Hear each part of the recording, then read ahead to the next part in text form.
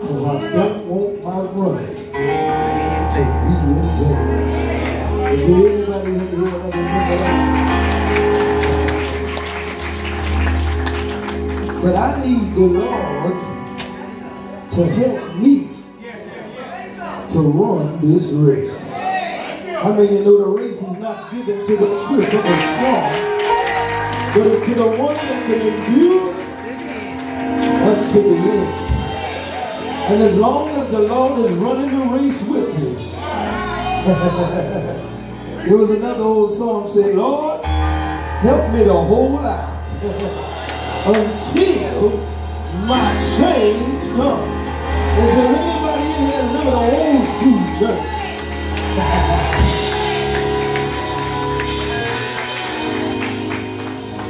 we do once again greet you in the precious name of Jesus Christ. And we thank all of our visitors and all of our members and friends for not finding the robbery to come to Barnwell, South Carolina. Second Baptist Church. But not to prolong the time, but there is a word from the Lord. Amen. it's so funny that they would sing that. But if you go with me to the book of Isaiah, 43rd chapter, beginning at verse number 15. Isaiah chapter 43, beginning at verse number 15. How I see here at Second Baptist, if you're able to stand, standing don't add nothing to the word. But the word has stood up for us so many times. It is an honor of God that you stand for the reading of his holy word. Isaiah chapter 43, beginning at verse number 15. Amen. Anyone need a little more time? Amen. And it reads, Gusly, Isaiah chapter 43, beginning at verse number 15. I am the Lord, your Holy One, the Creator of Israel, your King. Thus saith the Lord, which maketh a way in the sea, and a path in the mighty waters, which bringeth forth the chariot and horse, the army and the power. They shall lie down together, they shall not rise. They are extinct. They are quenched as tow. Remember ye not the former things, nor consider the things of old. Behold, I will do a new thing. Now it shall spring forth. Shall ye not know it? I will even make a way in the wilderness and rivers in the desert. God's word for God's people for the Lord bless. Heavenly Father, we come now, God, just to say thank you. Lord, we thank you for this day. We thank you for life, health, and strength. But most of all, Father God, we thank you for your grace and mercy that you looked upon all of our faults and supplied all of our needs.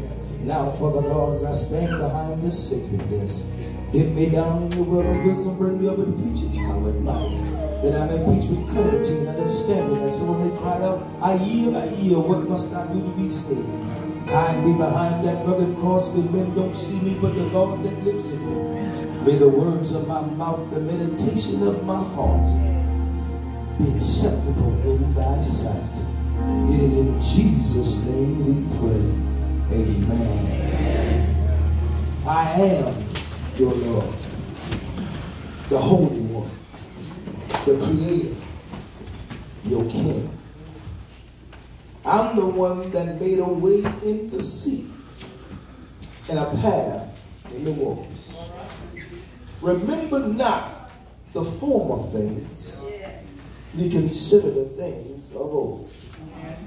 Behold, I will do a new thing. Now it shall spring forth. Shall ye not know it? I will even make a way in the wilderness, the rivers in the desert. God's word for God's people. I don't want to be long time, and I'm not going to be before you long.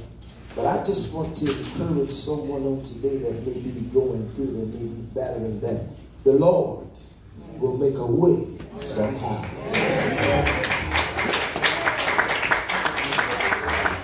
The Lord will make a way somehow. Amen. My brothers and my sisters, in this walk of life that we are living in now, perilous times are at every hand. And some of us seem to not really understand what's going on, but I'm here to tell you that the Bible is showing itself every day. The prophecy is most certainly being fulfilled, in the time it is at hand. But however much time that we have left here, we still may face some obstacles. We still may face some trials. We still are going to go through some things. The scripture said there are going to be times men won't receive sound doctrine. Where they're going to become lovers of themselves.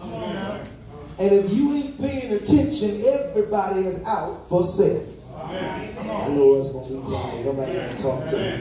And it's sad because it's even still that way in the church. But I stopped by just to encourage you that, listen, this ain't nothing that ain't happened before. God understood this and he knew this. That's why he wrote it in his word. Because we also understand that God's word is the only thing that can't come back forward.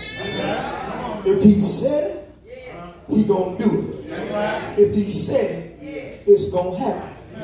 But I also know if he said it and he said it's going to do it and it's going to happen, I also know he going to bring us through. We look at everything from our political state. All the way down to even the, the, the bills in our home. And it seems like everything is just in turmoil. The devil is on his job. He said, I come to kill, steal, and destroy. And that's exactly what he's doing. He's trying to kill anybody who's trying to serve God. He's trying to steal your joy while he coming to disturb while you're trying to serve God. And you got to understand that what you must understand that the devil don't have no power over this earth. Say that again. The devil don't have no power over this earth. He got to get permission from God before he can do anything from you. How you know? Let me ask you a question. When they started talking about Job, what did the devil say? You got a hedge of protection around him. If you move the hedge, I know he'll surely denounce you. See, he had to get permission before he could lay a finger on Job. You just like Job. He got to get permission before he can do anything to you. Even those of us who are not in the ark of singing that don't even understand, God still got a hedge of protection around you. But it's only a certain for a little while until you get to the point where, okay, you just so dumb that I'm, I'm just not going to listen. You're going to move that protection. Then you wonder why you're catching so much hell in your life. Sometimes God got to do some things to get your attention. Then he got to do some things to keep your attention. Amen. God ain't talking. Yes. See, Christians, Christians get a chance to get comfortable. When we think everything going good and everything smooth and we got everything holy, holy, holy, holy, we get comfortable. And we forget where God brought us from.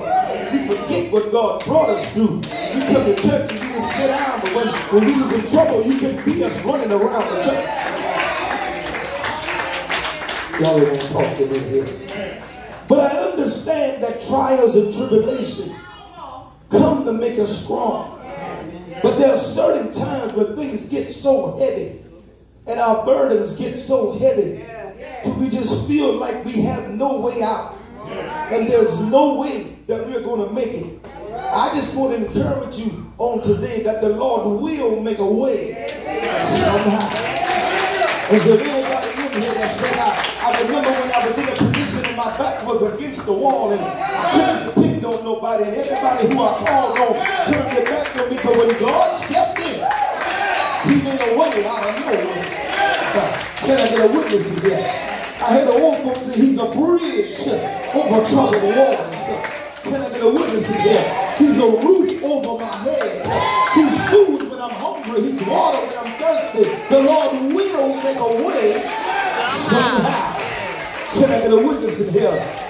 And as I move to this text of Isaiah, and Isaiah had to remind the people that you're very, Israel, you're being very unfaithful. The whole time you've been out here, you've been nothing but complaining. But if we know we was going to be stuck like this, we should have stayed with Pharaoh. And I, I preached this a couple of Sundays back, and the thing that baffled me was you walked through on dry land. And the seas closed up and consumed Pharaoh's army. And you say you want to go back. But there ain't a boat no inside. How you gonna get back over there? How you, how you, Come on, man. I, I, I, I, and, and, and, and then the thing that, like I said, most people don't understand. They wandered in the wilderness for 40 years. But where they were going only supposed to take three days. But because of their mindset, they wasn't allowed to move any further. So, so, so here Isaiah reminds them that the Lord is the one that created everything. Do you not remember when you cried out for food, he made sure you had manna to eat? Y'all Yeah. Do you not remember when you said you was hungry, he brought water out of rocks? Y'all don't want to talk to me. I, I'm preaching the scripture now. So, so here it is. How can you still be complaining? Just because it don't look good, don't mean it ain't gonna turn out good. Amen. Yes.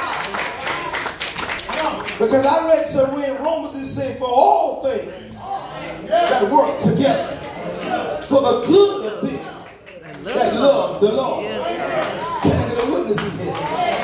And he has to bring, see, see, sometimes people say, you know, oftentimes, you know, especially married couple, all the married folks, especially we got people who've been married a long time. And every day it always been Sunday and peaches and cream over some tic tacs and arguments. And if somebody quick to say, well, don't be throwing up in my face what you did for me. But every now and then, you have to be reminded of what was done for you. Can I get a witness in here? Here we are, God has delivered you out of slavery. But here you are still complaining because about what you got to go through to get something that was already promised to you. Y'all missed that. The promised land was already promised to them. But they were complaining about what they had to go through to get to what was promised to you. I stopped by to encourage you. Don't give out before you make it to the promised land.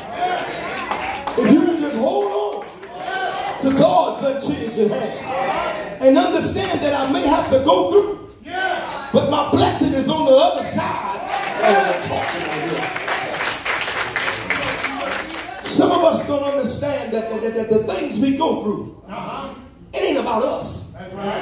It's for us to be a witness and a testimony to somebody else. Yes. Along this busy walk of life, we're going to run into somebody that be facing something that we have faced. Can I get a witness in here? Yes. The blind can't lead the blind. You got to be able to have gone through something to be able to testify about the goodness of Jesus.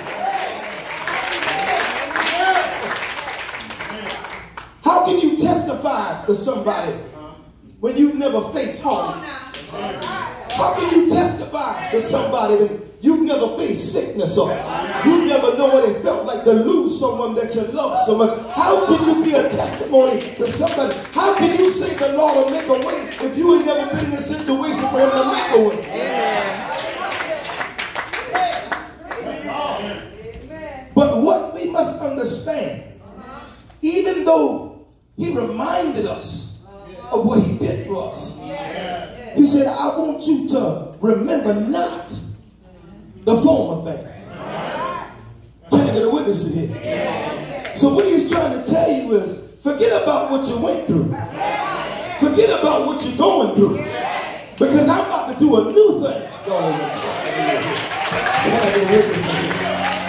Is there anybody in here that said, once I forgot about my problems and I begin to praise God in the midst of my circumstances, the Lord made a way out of nowhere. Is there anybody in here that said, I praised Him in the midst of Peter was? I praised Him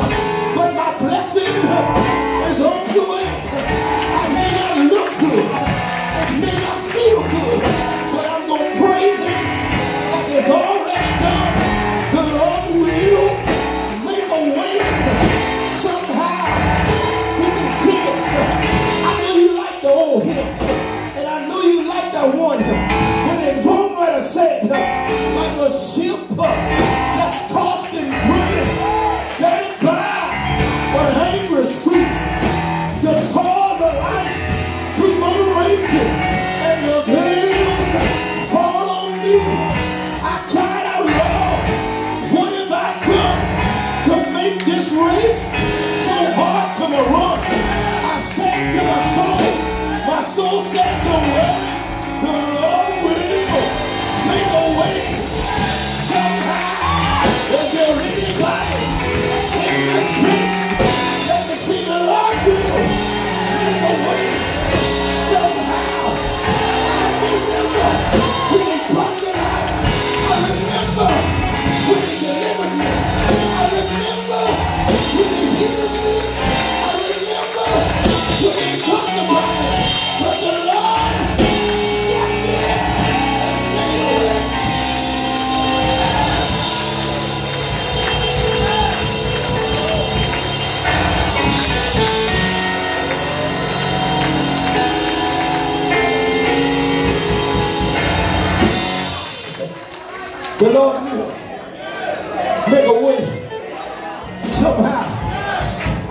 I'm, getting, ready to sit down.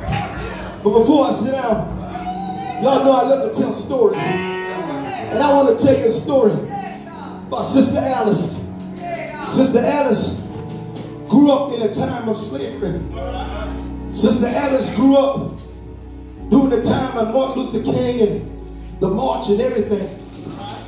Sister Alice's husband died of a massive heart attack when their son was four years old. But Sister Alice kept on praying for her child. Sister Alice kept doing whatever she needed to do to ensure that her child would be successful. Sister Alice was the church faithful every Sunday morning. Sister Alice was to every prayer meeting. Sister Alice was to every Bible meeting. Every time the door swung open, Sister Alice was in the church. And when her son graduated, and this was a time where giving scholarships to black young men wasn't too popular. Her son was so far advanced that he was offered a scholarship to Harvard. And he took that full scholarship to Harvard. Now, Sister Alice didn't have a lot of money. And every summer he would come home. He said, Mama, I'll be so glad when you're able to see me walk across the stage and get my degree. And summer after summer, he came home and he said the same thing. And Mother Alice said, Baby, if it be so the will of the Lord, I'll be there to watch you walk across that stage. Well, the senior year came, and it was time for graduation. But the thing about it was, Sister Alice didn't have the money for the train ticket to get to Harvard.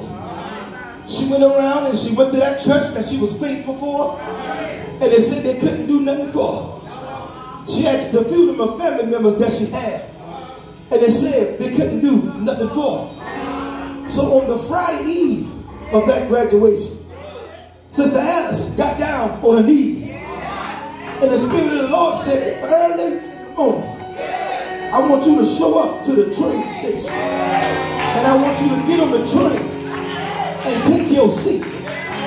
Well, Sister Alice got up early in the morning. And she made her way down to the train station. And she went there and she sat in a seat. Well, that old train marshal came around checking tickets.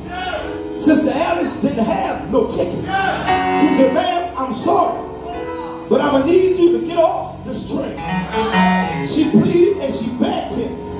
And she explained the situation. He said, well, ma'am, let me, let me talk to the conductor. Let me see what I can do. He came back with the conductor and two other men. And they said, ma'am, we understand the situation, but we can't allow you to travel if you don't pay. So they escorted Sister Alice off the train. And a lot of people would think that Sister Alice would have started crying and she would have broke down. But let me tell you what Sister Alice did. Right down on our old concrete, Sister Alice got down on her knees. And when the conductor streamed across the car, all aboard, he charged up the train. And he pulled the whistle. But the train would not move. Well, the conductor looked a little confused. And then he tried it again. He said, oh, all aboard. He charged up the train. He loosed the brake. And he pulled the whistle. But the train would not move. Well, he said, wait a minute. Out of all the years I've been driving this train, I ain't never had this problem. But he looked out the window and he saw Sister Alice down on her knees. He said, y'all go and get that lady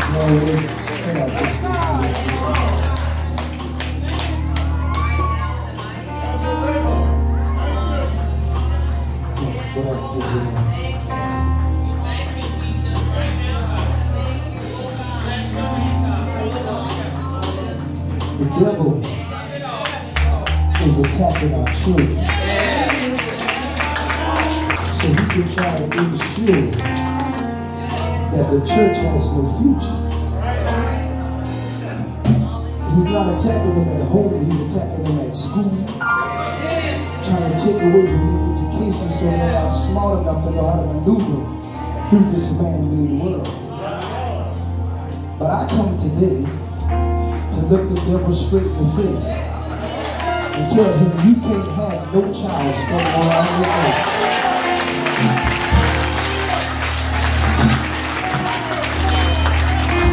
I plead the blood of Jesus over every student standing here. That everything they put their hand to would be a success that we won't let the oppression and everything get to them, that they continue to remember the God that looked after them. Now I want you, uh, I, listen, y'all know I'm a, I'm a truth preacher. Children, hear me good. Don't let nobody tell you some old folk tale about you got until you 13 to give your life to God. Because that's when Jesus performed his first miracle. No, the scripture says when you know to learn understanding. So that means when you know right from wrong and you continue to do wrong, regardless of what age you is, you are sinning against God. Yeah, anybody gonna clap for that. But that's the truth. That's the word. We gotta stop trying to scare our children with cliches and tradition and tell them the truth. The truth is the only thing that's gonna last. When everything else fades away, God's word will always be here. So now I'm going to ask all the deacons.